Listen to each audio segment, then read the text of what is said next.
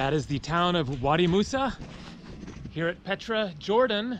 I'm about to go inside. I guess it's just a couple of minutes walk over here. And then it's going to be a lot of walking around today in what fortunately is not a hot sunny day. Sunny, but it is not hot because it is uh, mid-January. It was actually uh, quite uh, cold last night. I drove through snow on the way getting here yesterday from Amman, which was quite a, a spectacular sight. Snow in the desert. So this is really kind of a perfect day to explore Petra, walking through the canyons and uh, checking out the incredible ruins.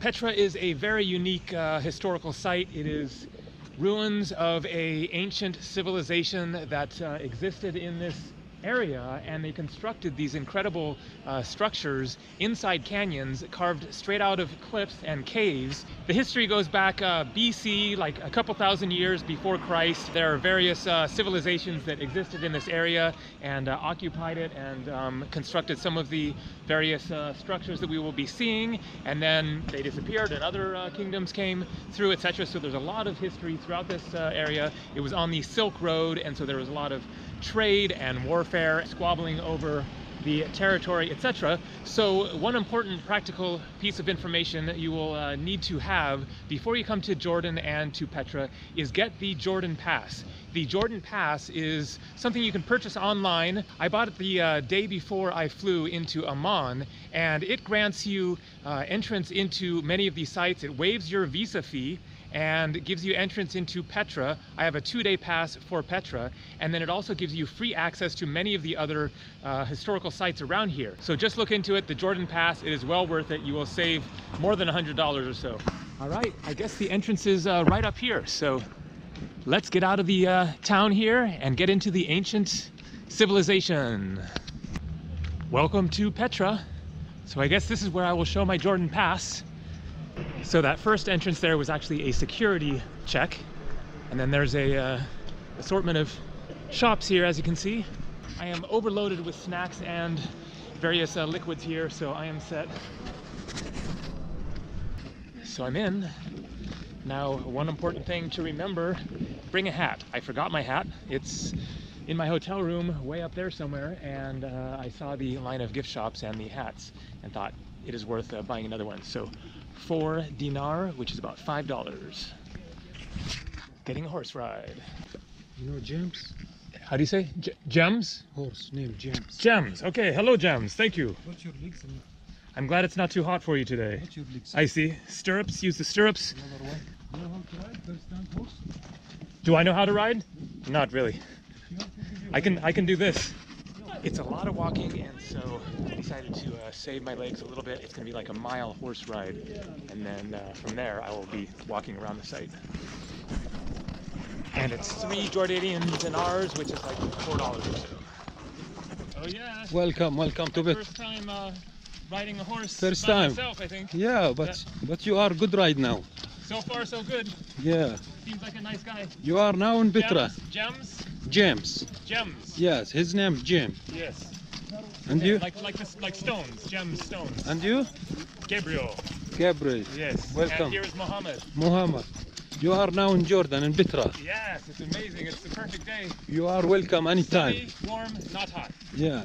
Here, if you can see, many cave here. The cave, this is tomb. And here, I show you after, this is obelisk. Obelisk. Obelisk tombs. I see. Yeah. This one just here. Okay. See the uh, four obelisks on the top there, sort of pyramidal shaped, and then the caves inside with an amazing archway.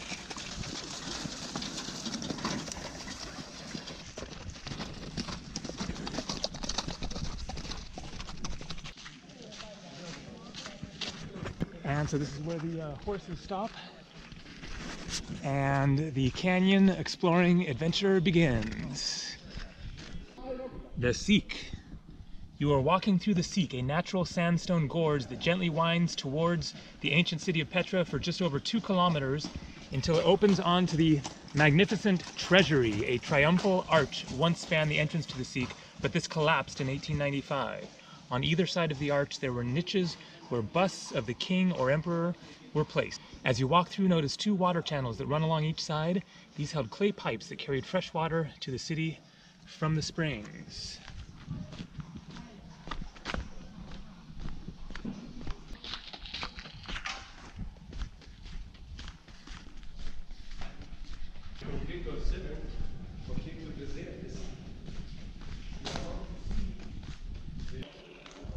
So I guess this might be one of those water channels. And then it's broken here, and then continues here.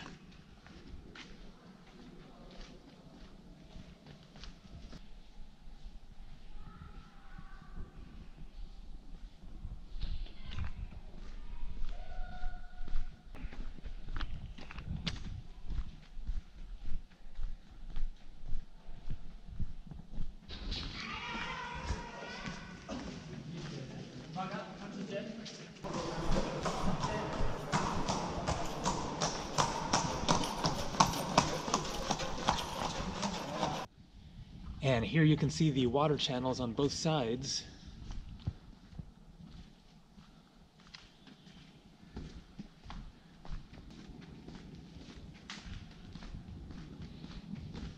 This place is so amazing to explore, even without the incredible carvings into the rocks that we're going to be seeing soon. Just walking through these canyons is just so awesome. So beautiful and surreal and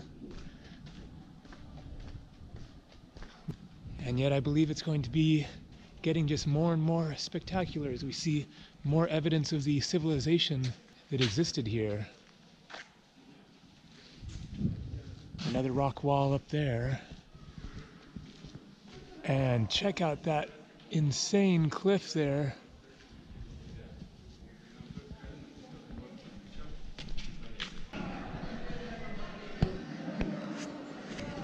So I've already arrived at one of the most spectacular uh, sights to see here the treasury.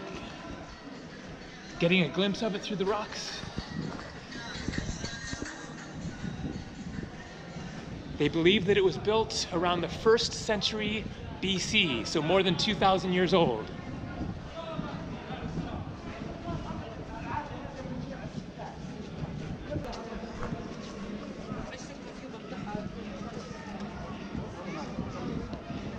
Absolutely mind blowing. It's more than 40 meters tall, close to 150 feet.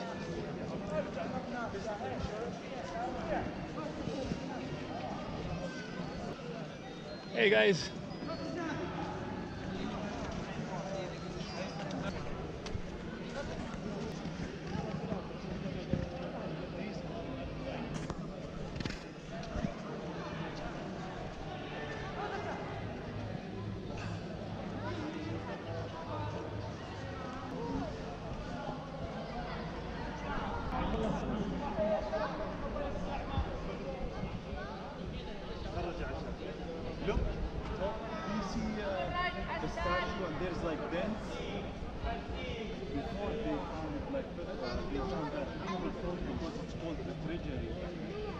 That pharaoh was Okay, which way to go from here? There are steps going up that way.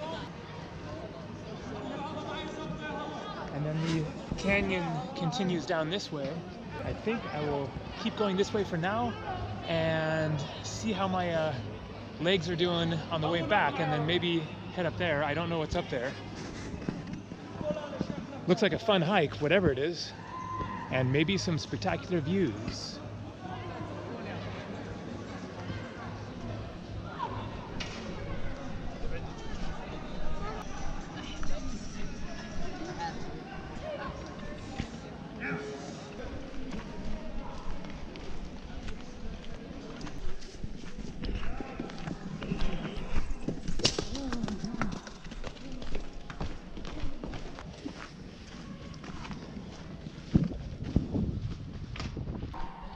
And this is called the Street of Facades.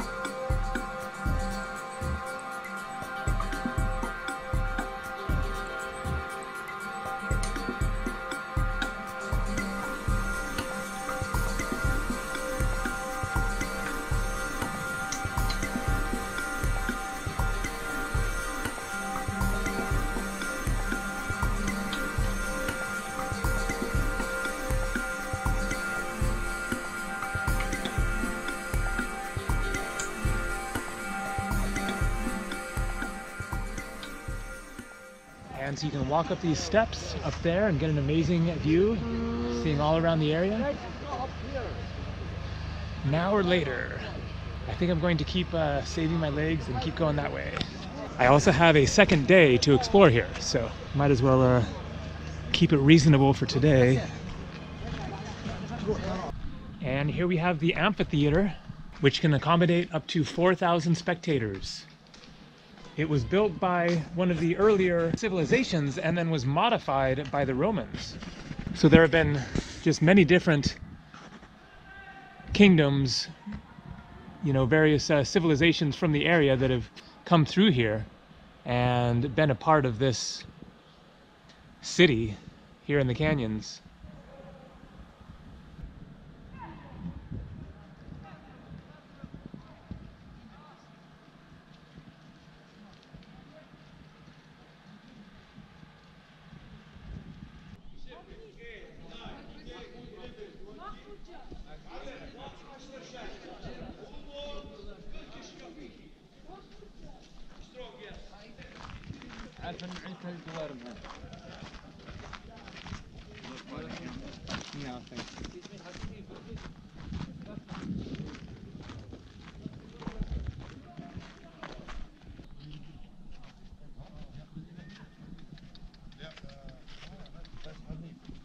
يعني شباب أول نهار لعبوا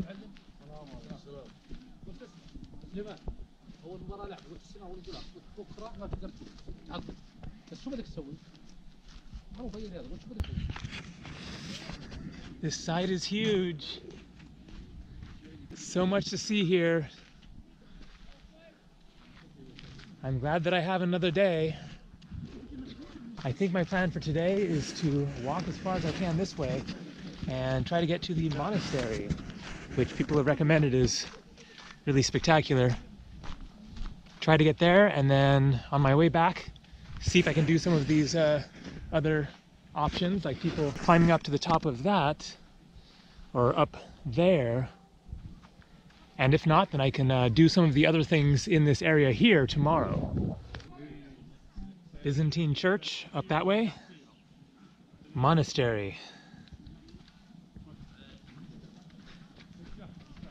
But I have a ways to go. You are here.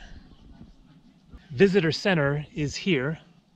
And so I took the horse ride down here, I think to there, and then walked through this canyon, street of facades, and then this is where it opened up past the amphitheater. You are here. Monastery, all right, two thirds of the way to the monastery.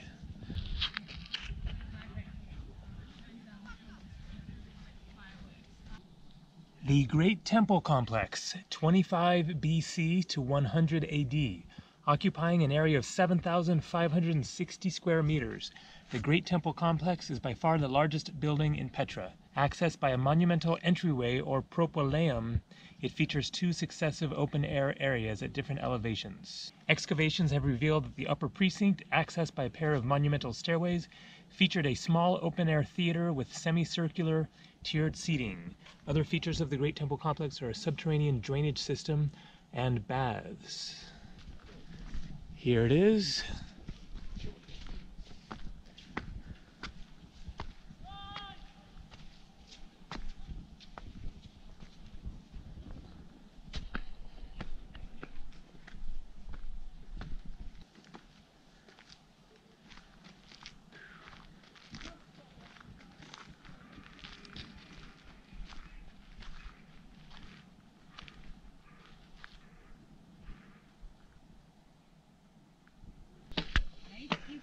Hello. Thank you. Where are you from? United States. Elephant Cave here. Uh, there's Elephant Cave. Yes, Bedouin. I see. Well, I look around. Where are you from? From here, Bedouin. here. Bedouin from around here. I see. Yeah.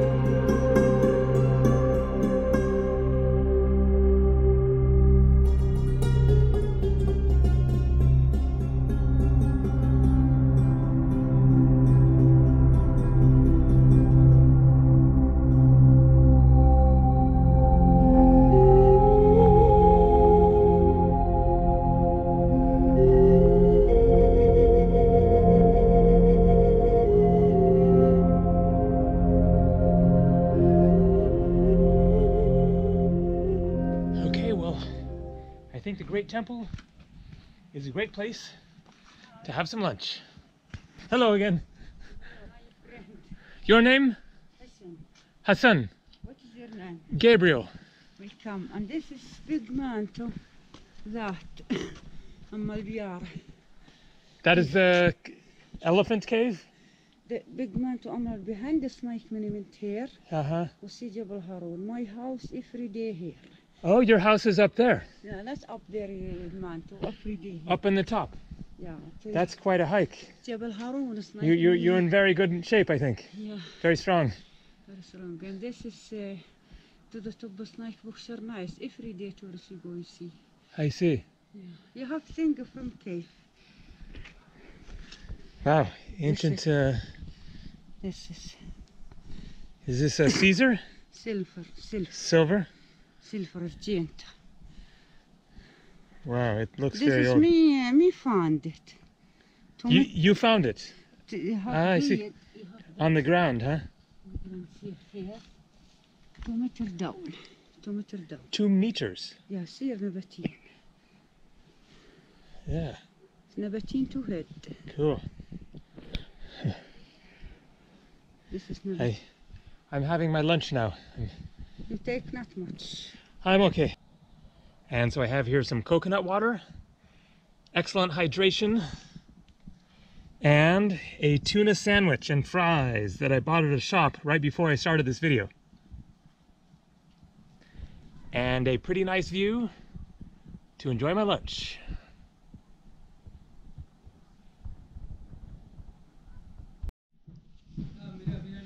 The Temenos Gate, 125 to 225 AD. Before you, at the western end of the colonnaded street, stands the Temenos Gate, the monumental arched entranceway to the Qasr al Bint temple precinct. It is typically Roman in plan and conception, and may have replaced an earlier Nabatean gate.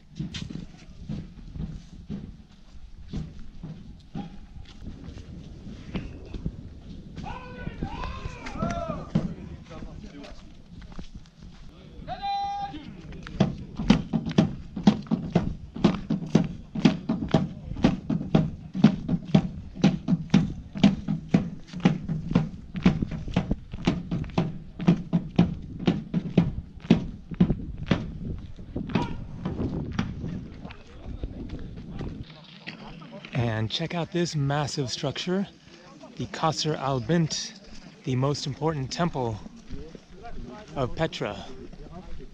Qasr al Bint Temple Complex, 25 BC to 25 AD. It is Petra's oldest and most venerable temple complex. Its name derives from local legend that the same pharaoh who hid his treasure in the urn of the treasury promised his daughter's hand in marriage to the engineer who could develop a system to bring water to the palace.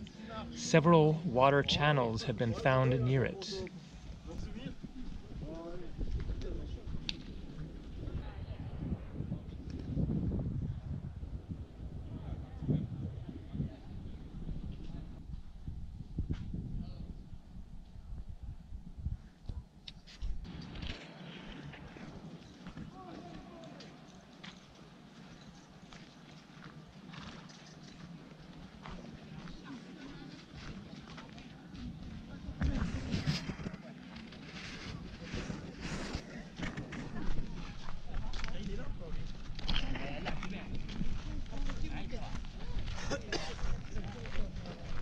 And the monastery trail has been marked off there. Which way is monastery? From here to the right, you see the bridge I see. where the camel, Yes. straight ahead, five minutes, you find the stairs. And then going up to the right from down there. From the camel there, Yeah. straight ahead. Okay, great. Thank you. Thank you. Asiag Spring. Wadi Asiag flows down to the spring that is almost dry now. What? Houses decorated with painted stucco aligned both sides of the wadi. They are dated to the first century BC. Hello. You want rice? No, I like to walk. I'm a hiker. Monastery? Yeah, this way. Thank you. Donkey's getting frisky.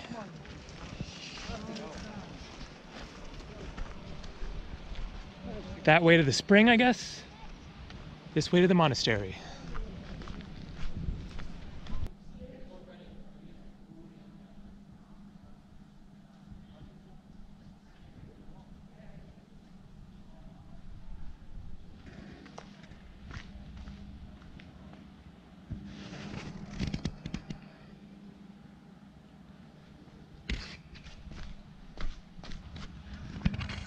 Probably these had like a wooden, uh, you know, front structure, and then it was part way into the rock, and then something stuck out. And they could have been very nice, carpeted and candles, and could make a nice, uh, cozy home there. And shaded during the heat.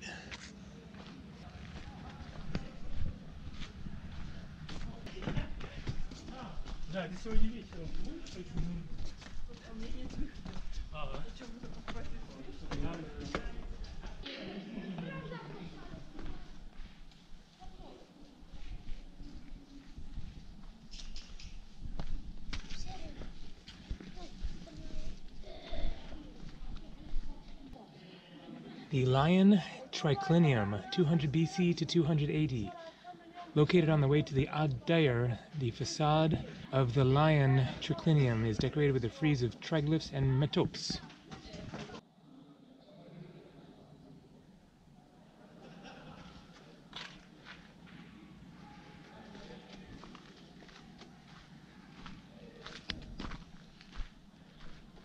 So I guess this archway up here is what they were talking about.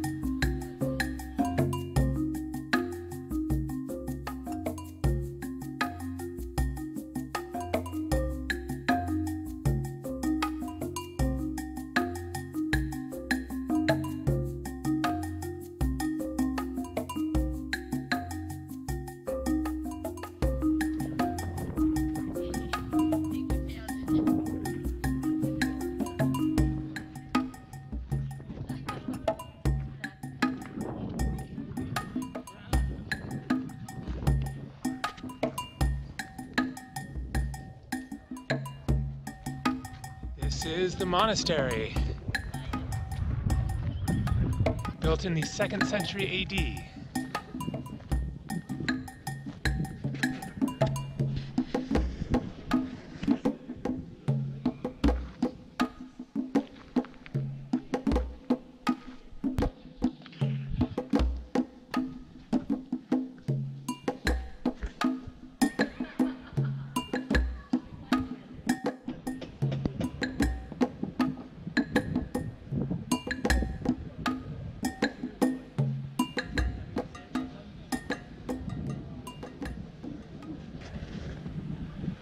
Wow. And out there I can see the town of Wadi Musa. My hotel is up on that uh, ridge there somewhere. What a spectacular hike getting out here. Incredible landscapes, walking through the canyons, the donkeys and camels and Bedouins, and of course, the absolutely stunning remains of a ancient civilization so I think I'm going to uh, finish this video here. From here, I will be walking back where I started. It's going to be another long trek. That was an intense one. I am uh, pretty wiped out, but fortunately it is mostly downhill from here, at least the uh, first part of it. And then tomorrow, part two, I will be exploring some of the other places that I saw along the way here, going a bit more uh, in depth into Petra. So stay tuned. See you tomorrow.